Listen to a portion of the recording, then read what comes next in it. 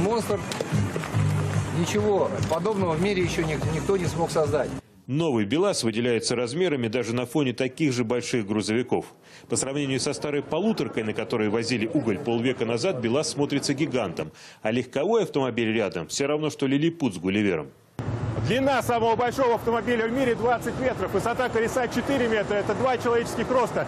Тщательно белорусские автомобилисты работали над прочностью резины. Ее толщина 25 сантиметров.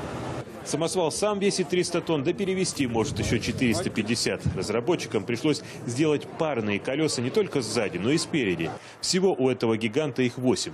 Все остальные детали, по сути, такие же, как и у других БелАЗов, но только размером больше.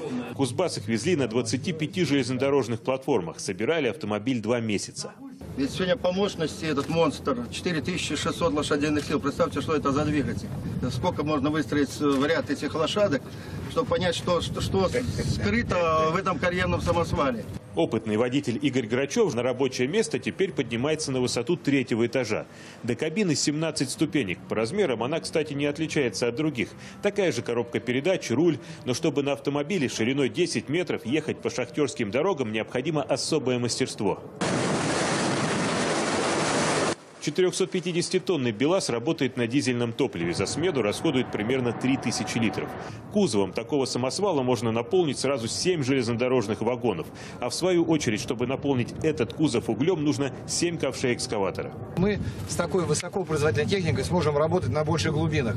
То есть сегодня уже разрез Черниговский работает на глубине, где работают шахты. А это безопасность, что имеет тоже очень большое значение. Новый грузовик сегодня начали испытывать на Кемеровском разрезе, а в Белоруссии тем временем уже проектируют супер БелАЗ вместимостью 550 тонн. Однако для него нужен такой же экскаватор-гигант. Только в паре они могут работать эффективно.